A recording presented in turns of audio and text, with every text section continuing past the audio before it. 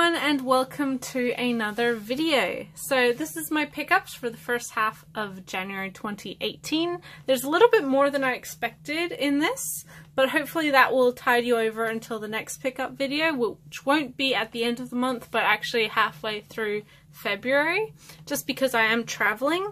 So yes, if there's not a pickup video at the right time, fear not, it's I haven't forgotten about you guys. I just am actually not here to show off things that I get.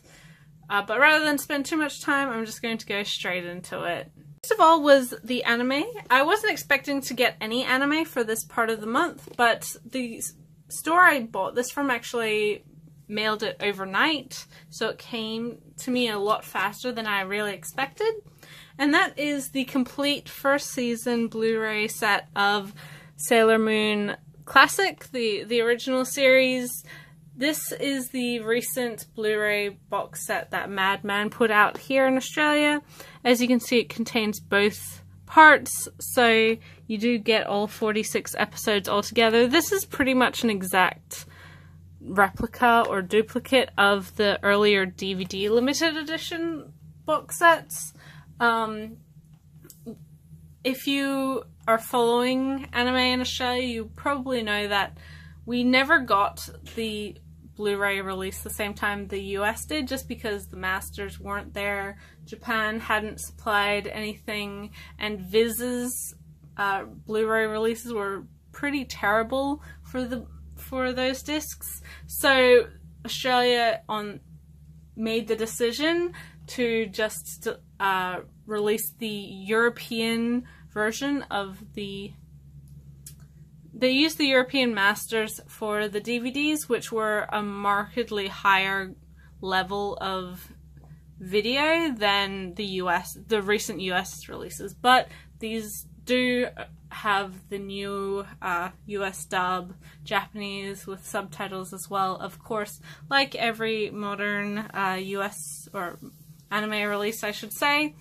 Um, yes, as I've said when I picked up the older DVD releases of this, I was never one to grow up on Sailor Moon. It was popular when I was a child, but I never had the opportunity to watch it, mainly because they only ever showed it before school, and I was never allowed to watch TV before school. My younger sister does have a lot more experience with classic Sailor Moon because she was a lot younger uh, she wasn't attending school at the time.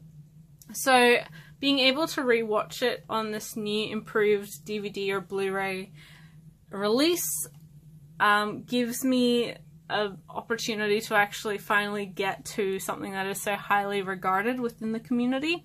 And in my opinion, I think Madman has done a great job with these releases. Um, this set also contains the booklet that the DVD sets did. So it's pretty much exactly the same aside from the actual disc format, and I do recommend it, especially if you're a Blu-ray uh, fan enthusiast or a Sailor Moon fan. I'm sure you are squaring these up. I got it for a very good deal. Um, the store, like I mentioned, that I bought from, we're having a 25% off uh, sale, so it was quite a bit less than um, what I was expecting. And you do get the entirety of the first season in this set rather than just half. So I thought it was a good investment and decided to just jump on it whilst I had the opportunity. And so, yes, now I have the first season of Sailor Moon Classic on Blu-ray. Manga, we have the most recent volume of Land of the Lustrous, so volume 4. I really, really enjoy this series. I think it's very well balanced, well written. The characters are all very intriguing, and the setting and story development is not inherently obvious. Uh, the story, as of where it is now in this fourth volume, comparatively to where it started in volume one, has changed in ways that I don't think you could go in and necessarily predict straight away. So I really do appreciate Ichikawa uh, her how she's directing her story. It's very, very, very good. Aside from that, um, I personally get a lot of enjoyment out of it because I have a background in earth sciences and geology in particular. I actually have a bachelor's degree um, for geology, so I get sort of subtle in jokes and references that maybe not everybody else does. So I don't know if that is inherently um, obvious to the casual reader, but as someone who spent four years learning about it and then working in that industry, I do laugh a little bit when I read some of these things. In addition to that, the characters are all pretty interesting. They've got very unique and uh, very setting useful um, motivations. The fact that all of the characters are these sentient mineral gems isn't just a gimmick to lay down the setting, it is inherent in all of their interactions and how the actual conflict is resolved. It's very, very fascinating. It was one of my favorite series that debuted last year. I definitely recommend you check it out. And yeah, it's just really, really, really, really good. Another new release, this one from Viz, is the most recent volume of Yuki Midorikawa's Natsume's Book of Friends, Volume 21, a series I have adored for almost 10 years now. I just, every volume, every season of the anime, everything to do with Natsume is wonderful. Uh, I've said this before about this series, but it has this timeless quality to it that makes it approachable for anyone. It doesn't matter your age, you know, background, gender, whatever else. I think everybody can find something to relate to. And the actual topics that this series handles is done in such a way that you always feel very genuine emotion for it. It isn't a manipulative series like I find some other overly wrought, melodramatic, sad series are. And that's why I think Natsume has persisted for so long with such a large, um, overwhelmingly large positive recommend or rep- recommendation reputation. Um, this is something you could show your five year old child or your 95 year old grandparent. It's something for everyone, and in that way, I I think series like this are undervalued, and when we find them, they really need to be celebrated. Natsume, um, the it's actually this year is the 10th anniversary for the first season of anime, and the fact that it has been doing so well for so so long is just a testament to it to it honestly in my opinion. Um, this 21st volume like we have been for several years now we are pretty much up to date. Um, I am still a little bit surprised that we have gotten so far in English because in everything that I've said, it is very um, it was for a very long time an unknown series. I felt honestly that I and maybe three other people were buying it. Uh, of course, the fact that we do have 21 volumes now that have been released in English does show that someone's buying it somewhere, and I can only hope to encourage more people to try it out. Uh, uh the anime as well, all of it is on Crunchyroll, so check it out. It's marvelous. One of my favorite all-time series and likely never to, you know, be removed from that list. It's it is fantastic. For the final new release manga, we have the most recent Haikyuu volume, volume 19, another Viz series that has been doing incredibly well. I'm so glad it has been because I think, like I've said, with every volume of this, this really encapsulates probably the best aspect of sports manga. It has a very uh, upbeat energy, it's very positive, all of the characters are very unique and memorable, and the overall story, despite being a sport that maybe not everybody follows or has experience with, is always engaging. Um, and I think really that's what sports manga has to be, regardless of whether you're reading something about basketball or golf or anything. Um, in that respect. I think Haikyuu does have a very well deserved reputation. The anime, again, is very, very good for this series. And with these volumes, we are coming up to stuff that is sort of the last parts that were adapted in anime. We do still have a couple more volumes. Um, and then we're into new, new stuff. And I'm looking forward to that because um, I have seen all of the anime and I want to know what happens next because following these characters' journeys, all of the characters, regardless of which team, is it makes you enjoy their interactions and you really grow close to them. They all have reasons for why they're doing things and it's just very likable. It doesn't have to do anything, you know, completely new. It doesn't have to reinvent the genre for it to be successful. And in that regards, Haikyuu do- really does epitomize the best of what is available for shonen sports manga.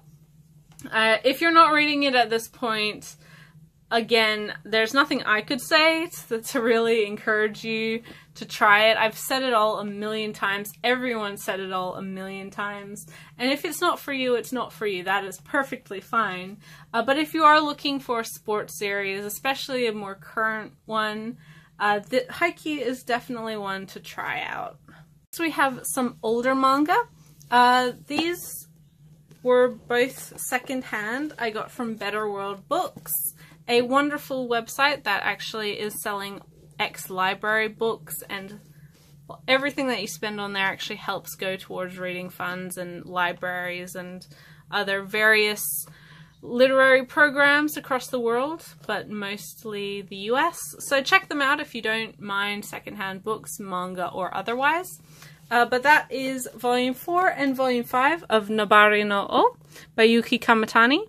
So this series is something that I've known about for many, many, many, many, many years. Um, Yen Press released it quite a few years ago.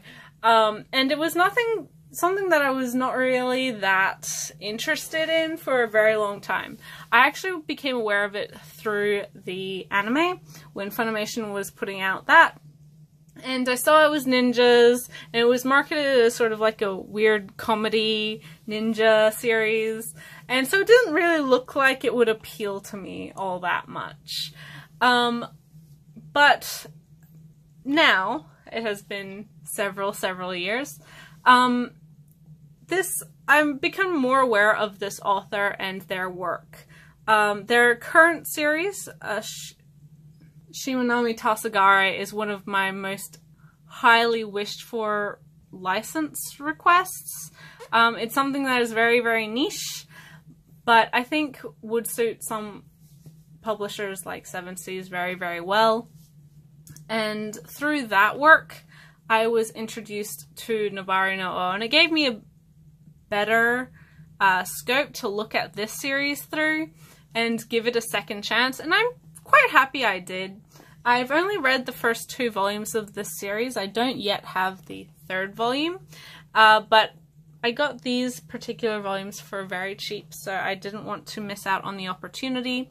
It's 14 volumes long. It is a shonen action series, uh, and it does contain ninjas, but it's a lot less of a Naruto and a lot more like Pandora Hearts or something similar of that nature, where it starts off quite lighthearted, uh, but develops into a much darker story. And even with the second volume, you can see the direction that the series is going. Um, it's very, very interesting. It's not what I would have said to expect back when I had first heard of it. And it's not something I necessarily expected going into it. It's very, very intriguing. Um, if you are a fan of uh, Shimanami Tasogare, although it is not exactly available legally in English. I would encourage you to try the series. It is the only one of their works that is available in English, and it's a lot more than it might necessarily seem from its initial like plot synopsis. So I'm glad that I gave it a chance, and I'm looking forward to reading more. next is another Expo Library book I got from Better World Books, and that is the third omnibus of Cross Game by Mitsuru Adachi. And this series, like with Haikyuu, really does encapsulate the best parts of sports manga in a very different way than Haikyuu. Um, of course, it is a lot older, and Adachi is definitely regarded as the godfather of baseball manga for a reason.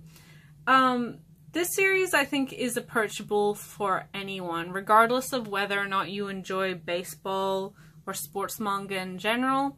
It's a lot more than what you can typically see in a normal shonen sports series.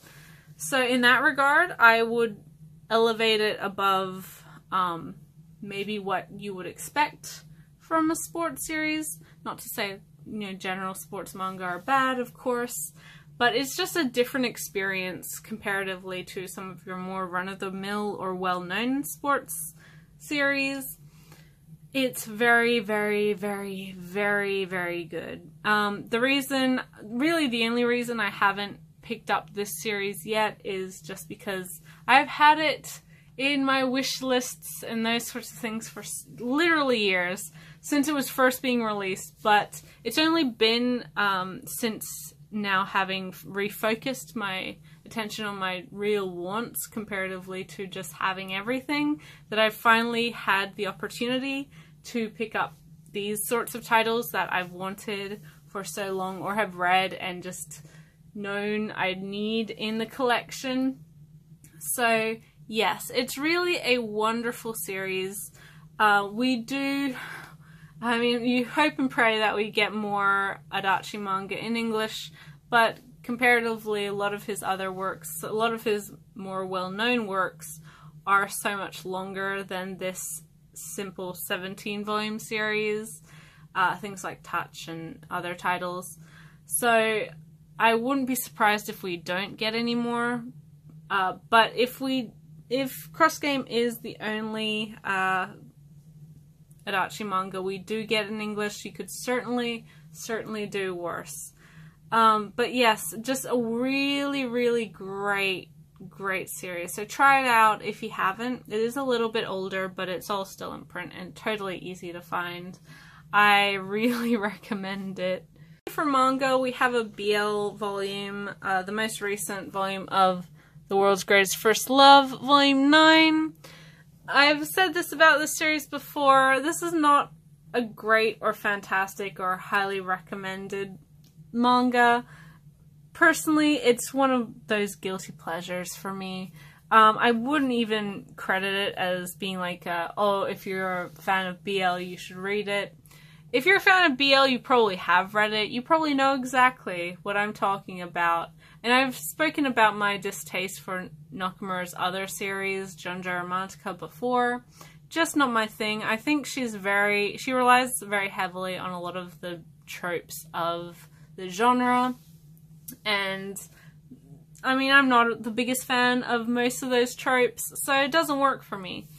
Uh, the World's Greatest First Love, thankfully, has a lot fewer of those tropes. Not none of them. It definitely has a lot of them, but some are sort of just you have to forgive the genre. It's just it's a staple.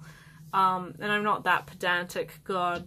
Um, but yeah, this is sort of a guilty pleasure.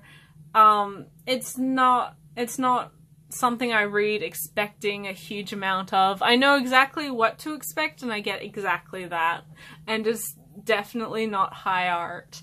Um, I'm sure if you're a BL fan or if you buy a lot of yaoi manga, you do already know the series, you've already bought this series, and or have already read this series. You know exactly whether or not you'll want it or not want it. Um, but I'm I am happy that Sublime finally, uh, or somebody, some publisher finally licensed and released the series because, in my opinion, it is definitely Nakamura's best work. Um, some people would argue that Hybrid Child maybe is, but um, I'm again not a huge fan of that one. May parts of it, but not all of it. Um, so yes, this series is pretty much exactly what you expect it to be, and so if you just accept it as that, you're not going to be disappointed.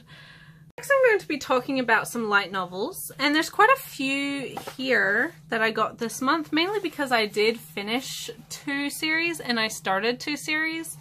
Um, and the first one that I'm going to show off is volumes 8 and 9 of Kieli, uh, sort of science fiction shoujo by Yukako Kabei. This is one of the first light novels that Yen Press ever released.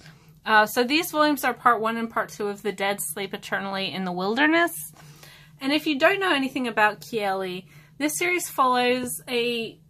It's set on a planet where the seas are made of sand, and Kieli is. Uh, it used to be a very prosper, prosperous planet, but a hundred years before, um, all of the resources, all of the mineral resources, were lost in a great war between two factions. Uh, so Kieli is a young orphan who has grown up in this sort of religious school, but she can see ghosts. No one can ever has ever believed that she can see ghosts, but she can see ghosts.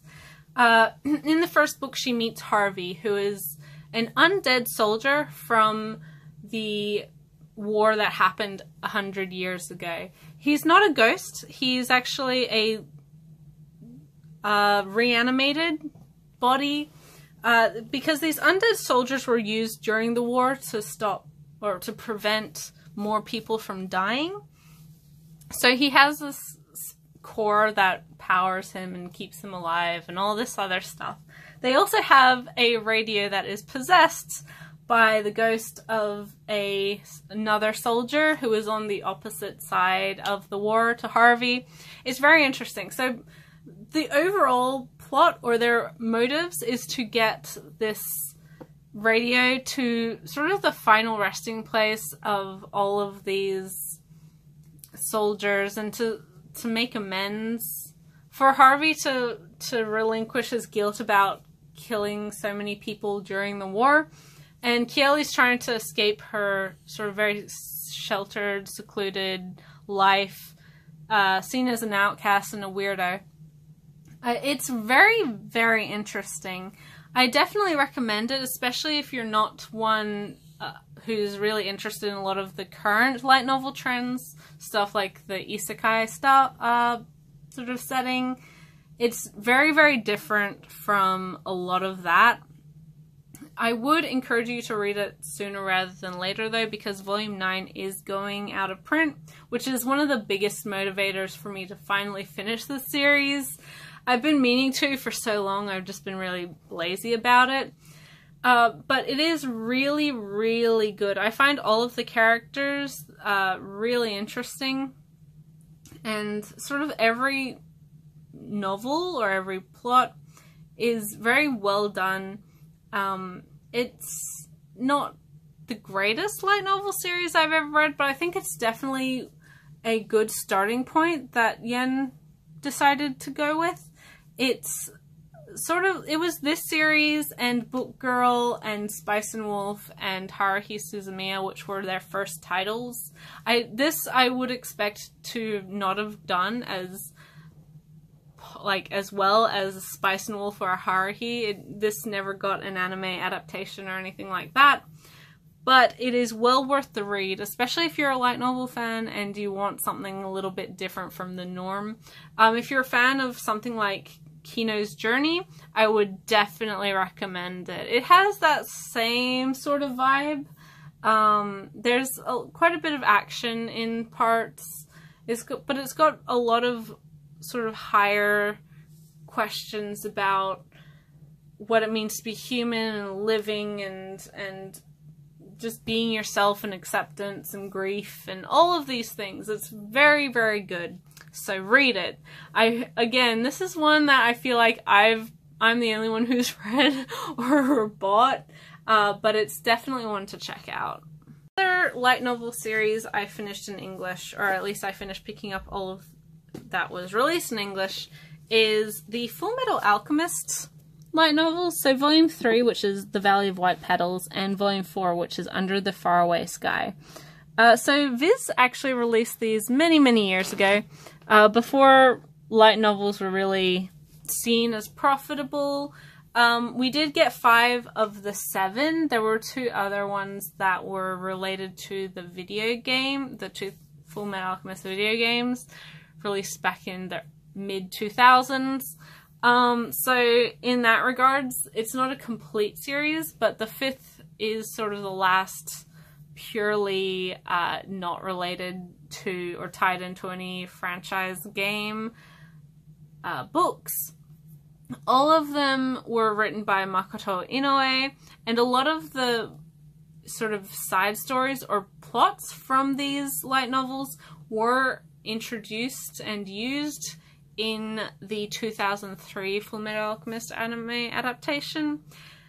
I haven't, again, read either of these two volumes or the last volume. They are very uh, young, sort of. The translation reads like it's written for young kids, which is understandable because not only is uh, our light novel sort of more for young people, but when Viz was translating this, Fullmetal Alchemist was really a, a, gateway series. A lot of young kids, middle schoolers, and even younger probably, started with Fullmetal Alchemist, and having these books in a in language that was easy to digest and read uh, makes a lot of sense. In saying that, yeah, don't go into this uh, or don't go into the series expecting a lot of um, turn of phrase or just sentence structure to be anything above like a eighth or ninth grade reading level. Um, I would maybe even argue like a seventh grade level because it's not meant to be super challenging and it is meant for you know kids of the that age group as a big Full Alchemist fan, and I know Arakawa does enjoy these books quite a lot. She thinks that Inoue really captured the heart of her characters. I did want to read them for myself, um, and I find it interesting to see sort of the differences between various adaptations. And Full Alchemist, like I have made no no secret of, is one of my favorite series of all time. It is one of my first series that I ever got, and it, I think I've enjoyed every part of the franchise that I've experienced.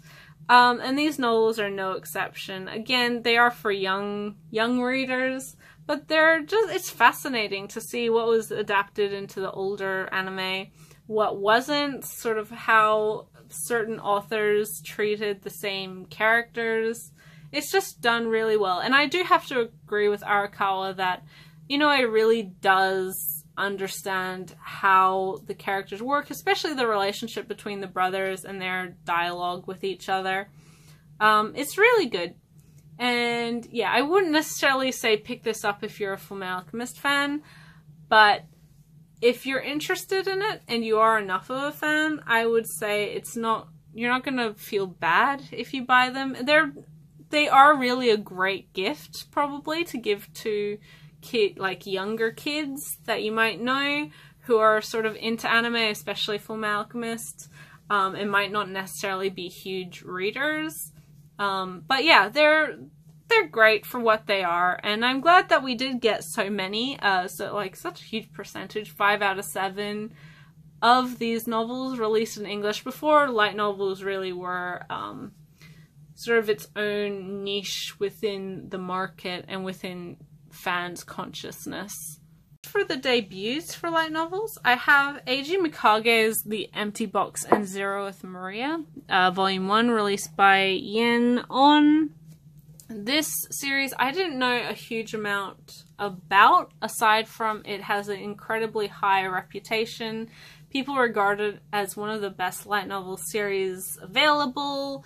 Um, it's always voted extremely high on sort of every everywhere you look.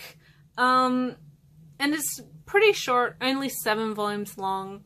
So I wanted to give it a chance. It isn't an isekai like a lot of the other uh, light novels coming out currently. It does ha- fall within sort of the high school setting, uh, though, that is sort of more standard for light novels, at least five to ten years ago it was.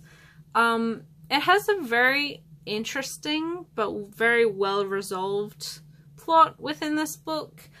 I am intrigued to see where it goes from here because this book does resolve itself. You don't have really that many hanging plot threads after it's done.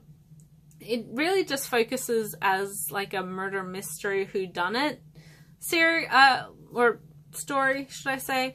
Um so yes, it's when you hear such grand statements of like one of the best light novel series ever, I get very curious. I want to try it. I want to assess that for myself. And having read it, it's it has elements that I've seen in a lot of different series. It does it very well, and I'm intrigued to see where it goes from here to make it sort of so highly regarded. Um, yeah, it's just.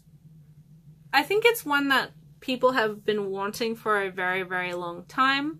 So, of course, it's a good thing that uh, Yen did give us a release for this. I know a lot of people were very happy when it was announced to be getting a release. Um, yeah, it's. I don't want to spoil anything about it, but if you are a light novel fan and you're wanting to try something new and something that a lot of people agree is very good, and I do agree it is very good, um, and not necessarily a huge commitment, um, yeah, definitely try this one out. As I said, the story within this book is sort of encapsulated and concluded very well. So even if you're not necessarily a fan of the story, you're not going to be left with a million questions afterwards, and you can assess whether or not you want to keep reading. So yes, Empty Box and Zeroth Maria, Volume 1 for light novels, this is another very highly anticipated release. It is Seven Seas' release of Record of Lodoss War, The Grey Witch, which is basically volume one of this series. Again, not one that's super, super long, but one that I think really only would have ever gotten a release right now as the market is so welcoming and uh, has adapted so much to be able for light novels to be profitable. Um, Record of Lodoss War is sort of it's a classic of the fantasy light novel genre. It really is regarded as the first light novel ever. Um, there's some arguments on that, but it is it's classified as one of the first definitely. And it's interesting because it started mainly as like a D&D esque uh, tabletop game setting, and then the author used his characters within that setting, or he used those sorts of settings, so D&D and tabletop games, to explore the characters that he had created. So if you're a fan of high fantasy or that sort of D&D tabletop gaming, you should definitely try this out. It's within that sort of writing and lore and and that sort of thing. Um, I lucked out. I got one of the special pink pink printings. Uh, this was a issue, a known issue. Seven Seas did tweet about. Um, I am not. I will probably get a replacement black ink but I do really like the pink ink. I think it's a pretty interesting little mess up. They obviously didn't mix their inks properly or didn't have the second layer on them. Um, yeah, I I think it, uh, regardless of that issue and the rarity of like a misprint like this, um, I really think Seven Seas did a great job, and I hope they do really well with this book. Um, the front has a lot of really lovely color images, a lot of very interesting, uh, and the back as well also has a lot of very interesting and nice color images and character stuff so you know who's who. As you can see, it is definitely Um, just from character names, you can definitely tell there's some uh, influences on from tabletop gaming. Uh, so yeah, I'm. I haven't actually read this one as of yet, but I have seen the Lodoss War OVAs, uh, not the TV series, but the OVAs. Um, so I know sort of what to expect. I know what I'm getting into, and I know that I I will enjoy it. This sort of high fantasy is a little bit of a lost art within anime and manga and sort of Japanese media.